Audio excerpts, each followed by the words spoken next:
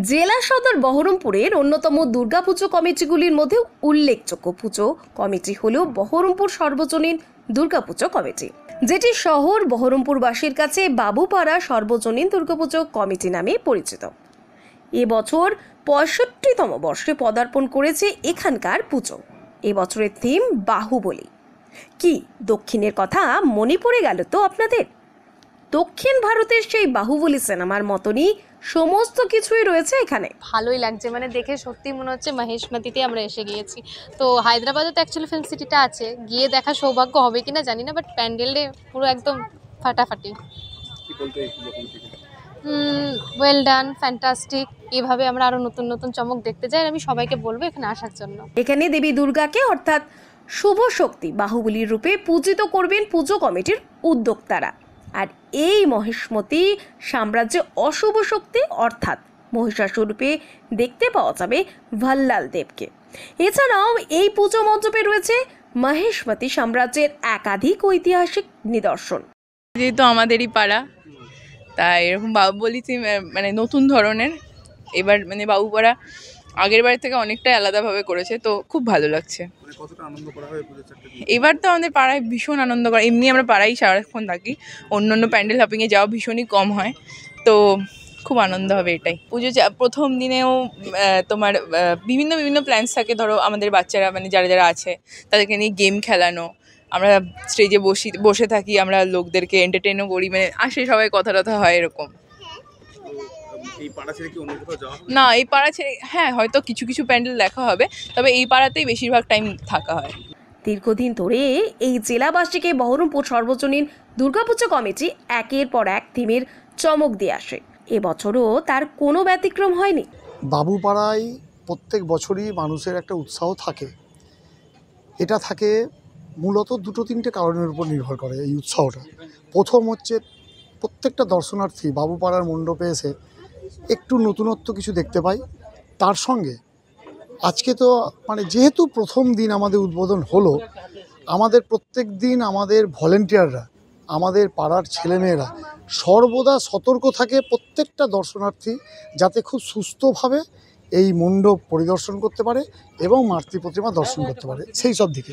Naturally এখানে যে সকল মানুষ আসেন, তারা আমাদের ব্যবহারেও তৃপ্ত হয়, তার সঙ্গে এত সুন্দর আমাদের চিন্তাভাবনার যে স্বরূপ আমাদের এই মণ্ডপ, সেই মণ্ডপ দেখেও তারা অভিভূত হন।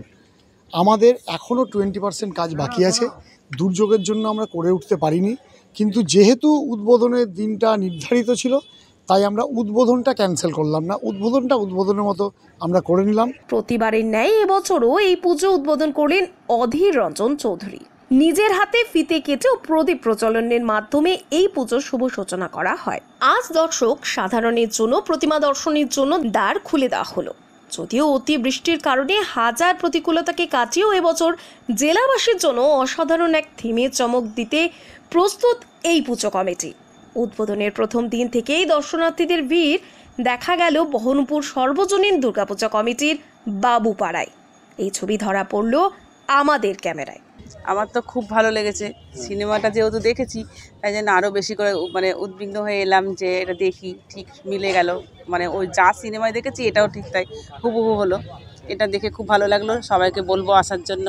এবারেও তা সেরকমই খুব সুন্দর হয়েছে। এখনও কাজ বাকি আছে কিন্তু তাও ভীষণ সুন্দর পুজোটা। দুর্গা পুজো মানুষের আবেগ বাঙালিদের আবেগ এখানে বৃষ্টি ঝড় ঝঞ্ঝা যাই হোক মানুষ বেরোবেই। তো আমি এমনি বেরিয়েছিলাম বেরিয়ে দেখলাম এটা খুলে গেছে। আমি আশা করিনি আজ খুলবে। খোলে না কোনো সময় তৃতীয়াতে এখানে কোনো প্যান্ডেল। তো যাই হোক দেখা হয়ে গেল।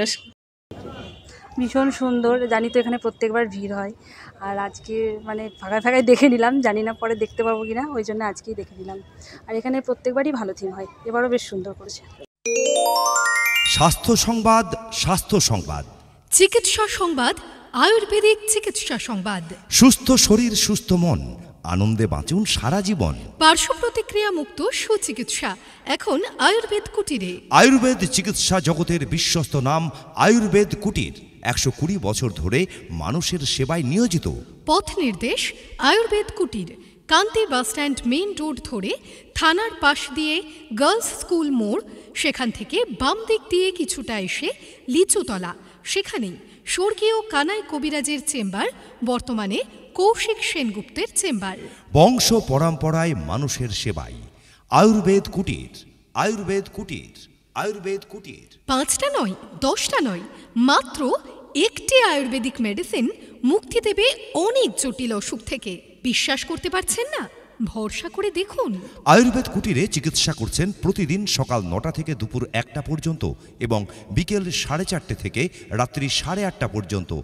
অভিজ্ঞ আয়ুর্বেদিক কবিরাজ কৌশিক সেনগুপ্ত।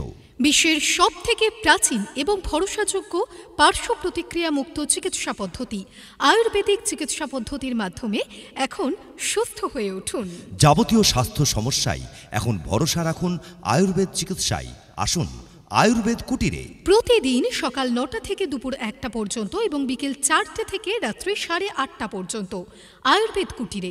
চিকিৎসা করছেন বিশেষজ্ঞ আয়ুর্বেদ কবিরাজ কৌশিক সেনগুপ্ত। চিকিৎসার জন্য রোগীর অগ্রিম নাম লেখাতে ফোন করুন nine nine three three five nine zero five seven zero. অথবা seven three six four nine nine three one zero zero এই নম্বরে কিংবা সরাসরি আসুন আয়ুর্বেদ কুটিরে আমাদের পথ নির্দেশ কান্দি বাসস্ট্যান্ড মেইন রোড ধরে থানার পাশ দিয়ে গার্লস স্কুল মোড়। সেখান থেকে বাম দিক দিয়ে কিছুটা এসে লিচুতলা সেখানেই স্বর্গীয় কানাই কবিরাজের চেম্বার বর্তমানে কৌশিক সেনগুপ্তর চেম্বার। আয়ুর্বেদ কুটির কবিরাজ দিলীপ সেনগুপ্ত বসছেন কান্তি বিজয়নগর নিজস্ব বাসভবনে। কবিরাজ কৌশিক সেনগুপ্ত বসছেন কান্দি লিচুতলা চেম্বারে। হান্ড্রেড পারসেন্ট আয়ুর্বেদিক ঔষধ এবং আইএসও সার্টিফাইড। ভরসা রাখুন সুস্থ থাকুন।